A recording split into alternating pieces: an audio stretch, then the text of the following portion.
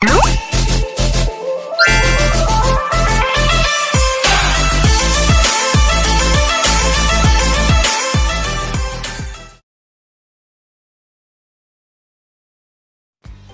สวัสดีนักเรียนชั้นประถมศึกษาปีที่ห้าทุกคนนะครับวันนี้ก็มาเจอกับครูก๊อตนะครับในหมวดวิชานะครับ สุขศึกษาและพละศึกษานะครับอ่าในอาทิตย์นี้นะครับเราก็จะมาเรียนนะครับ เรื่องการแก้ไขปัญหาความขัดแย้งนะครับ ในครอบครัวนะครับ ซึ่งแบ่งออกเป็น 2 อย่างด้วยกันนะครับ ก็คือการแก้ไขปัญหาความขัดแย้งในครอบครัวนะครับ และการแก้ไขปัญหาความขัดขัดแย้งในกลุ่มเพื่อนนะครับนักเรียนครับซึ่งการดำรงชีวิตของเราในปัจจุบันนะครับ เราต้องเจอแน่ๆสองสิ่งนะครับ ก็คือ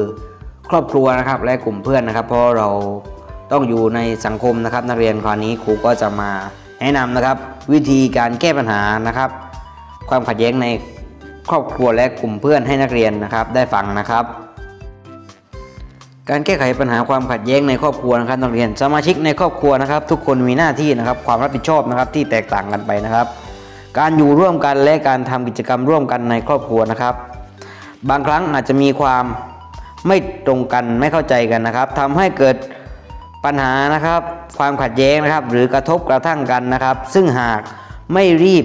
แก้อย่างอย่างถูกต้องนะครับ อาจทำให้เกิดความรุนแรงในครอบครัวได้นะครับ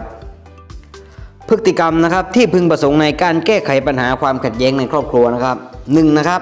การแก้ไขปัญหาความขัดแย้งโดยไม่ใช้ความรุนแรงนะครับอ่าเราก็ต้องพูดจานะครับ อย่างไพเราะนะครับ แล้วก็มีเหตุผลนะครับในการพูดกันนะครับ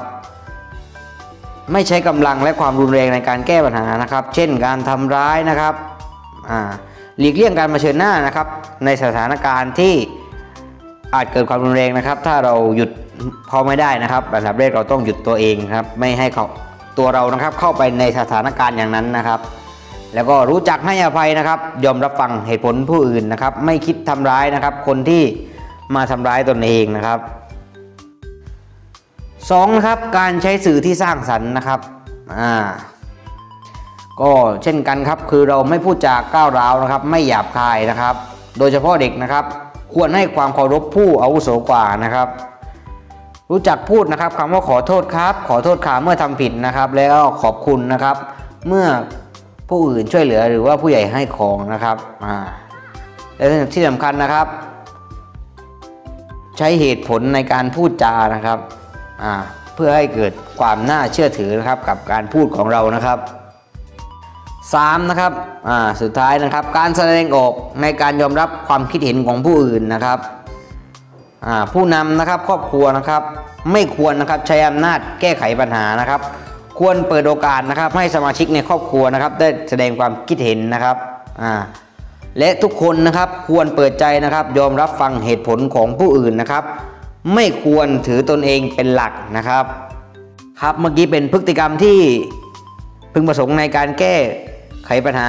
ความขัดแย้งในครอบครัวนะครับ นี่เรามาดูพฤติกรรมที่ไม่พึงประสงค์กันนะครับ นักเรียนอ่าหนึ่งนะครับ การใช้อำนาจนะครับในการแก้ไขปัญหานะครับสองนะครับ การใช้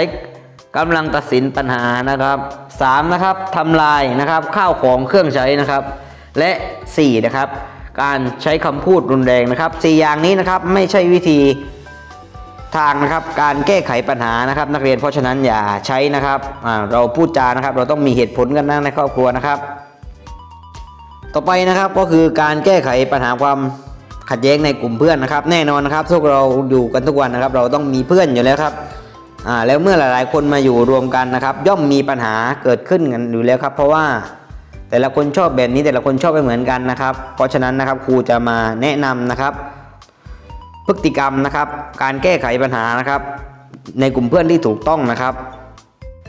ครับ อันดับแรกเราต้องมาดูนะครับ พฤติกรรมนะครับที่พึงประสงค์นะครับ ในการแก้ไขปัญหาความขัดแย้งนะครับ ในกลุ่มเพื่อนนะครับ สามารถปฏิบัติได้อย่างไรบ้างนะครับครับหนึ่งก็เหมือนกันเลยนะครับ การแก้ไขปัญหาความขัดแย้งโดยไม่ใช้ความรุนแรงนะครับอ่าหนึ่งนะครับ ใช้เหตุผลนะครับในการแก้ปัญหานะครับ สองนะครับอย่าใช้กำลังตัดสินปัญหานะครับสามนะครับรู้จักให้อภัยกันนะครับ